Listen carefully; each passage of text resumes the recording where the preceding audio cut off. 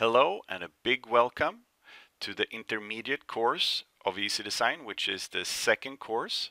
My name is Richard and I will be your trainer in this course.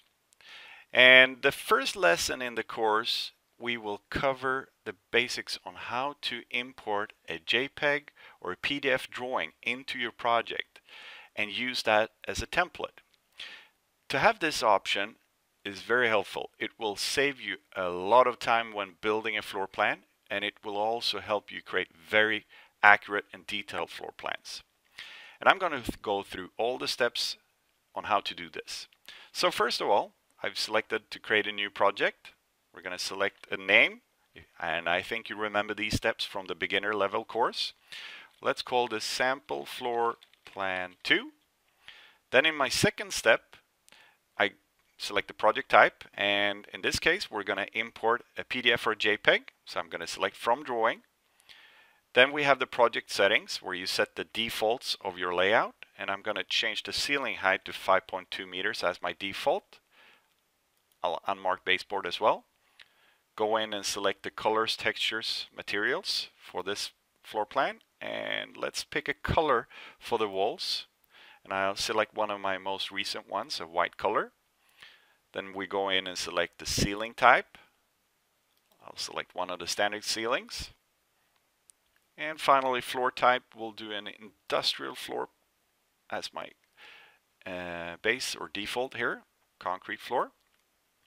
Now we're going to click on Create Project, and that will open up my computer, and I can find on my computer the floor plan that I would like to use. And in this case, it's a JPEG floor plan, a sample one and we'll click open and that will bring it into Ecdesign like this.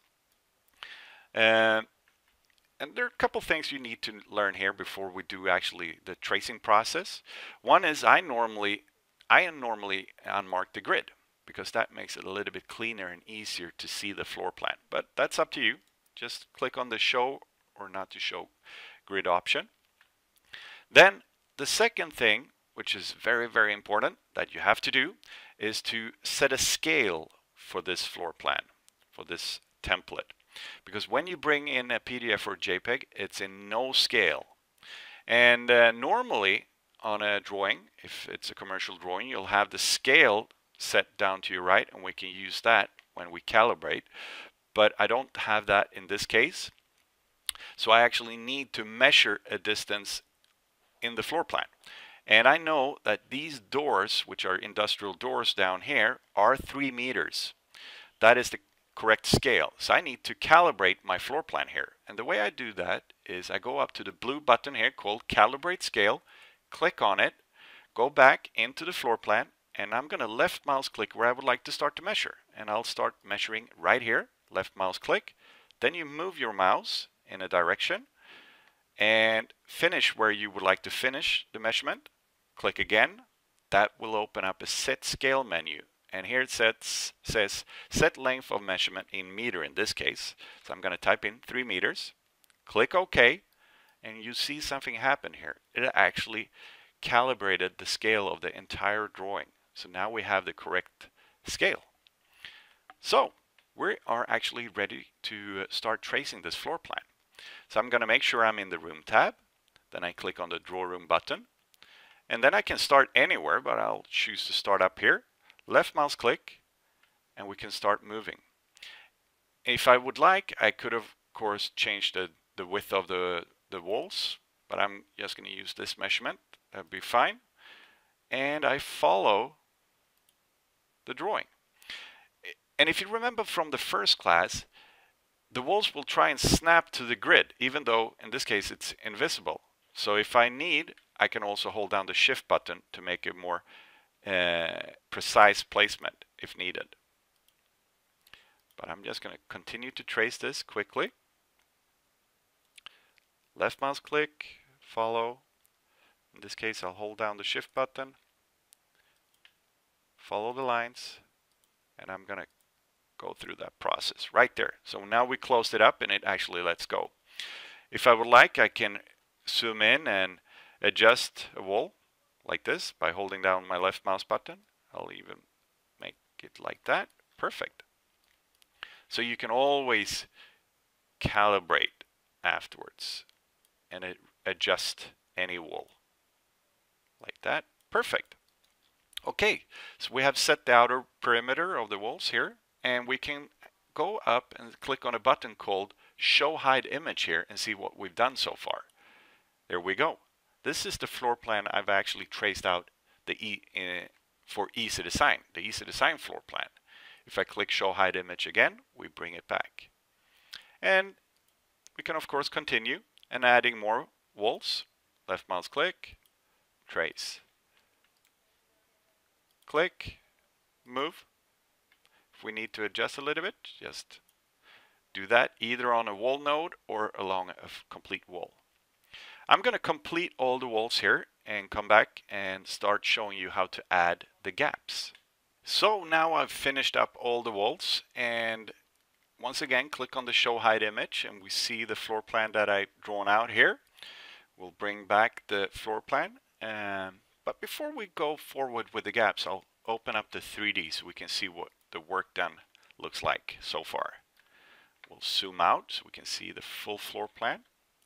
Perfect looks good. And let's go back to 2D. Now it's time to start adding the gaps, the doors, the windows, and if needed, openings also. So we go to the second tab and select the doors in this case and select, we'll do this one, the open door one. And then you go into the floor plan, place your mouse over uh, a gap, double click, and if you need, you readjust uh, the swing by holding double clicking. But in this case I didn't need to do that. If we need to change the dimension you can do that of course. Maybe the door in this case should be one meter. Perfect. Double click somewhere else to add another one. Double click again once it's in place to rotate the door to change the swing. Do that again. Perfect double click, double click again, and again, and again. There we have it in a good position. If we need to make that door a little bit wider, we'll change it to 1.1. Perfect. Double click again. Perfect. I'll show you also how to add a few windows. So we'll select a window, go up here, double click where I would like it to be, click again, to readjust the dimension or the width and so on. So we do 1.2 in this case. Actually, uh, 1.3 should be the correct width. We'll send that up mm, 2 meters. And we'll send select the ceiling, uh, the height of the window to maybe 1 meter. Perfect. So 1.3 in width, 1 meter in height of the window, and we brought it up 2 meters on the wall so we for the altitude. Then, since the these two are the same, I just double click next to it and we'll place it perfect and keep the dimension that we typed in from the start. So that is how you do it. We'll go over here, select some more, and I think these look like two meters. Perfect. All right. We'll do a quick look in 3D so you can see what that looks like. Our first gaps are in place. We'll zoom up again so we can see that. Here we go. Those are the five windows and we have the doors over there. When we come back, I have added all the gaps into place and we can see the finished result. All right, so I've finished adding all the gaps into the correct place. Um, we can show hide the floor plan again. So we bring back the Ecdesign floor plan and hide the PDF or JPEG in this case. If we go up to the 3D view, we'll see the complete finished result. Here we go. All the gaps are in place, exactly the way I would like it to be.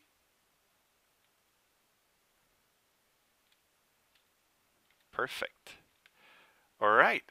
So that is how you import a PDF or JPEG and trace the floor plan. So the important steps uh, is of course to bring in the floor plan and to set a scale, a proper real scale using the scale tool.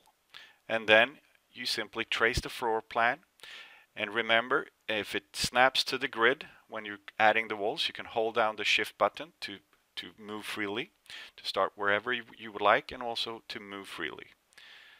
And uh, that's it. All right. Thank you very much.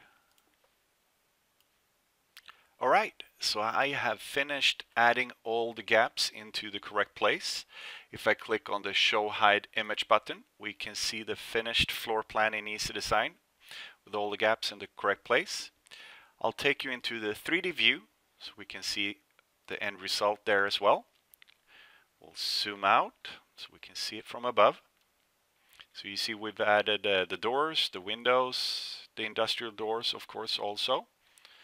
And it all looks exactly the way I would like it to be.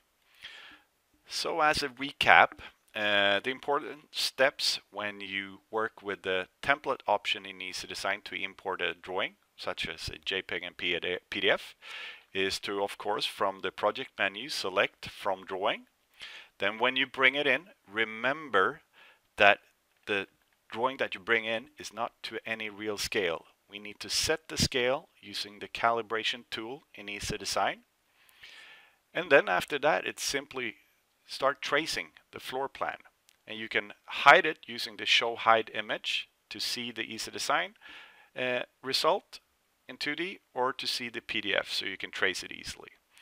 Uh, finally, remember the shift button uh, which allows you to uh, drag out walls freely. If you don't hold down the shift button, it will try and snap to the grid even though in, in my sample here I chose to hide it, but it's always active. So remember that.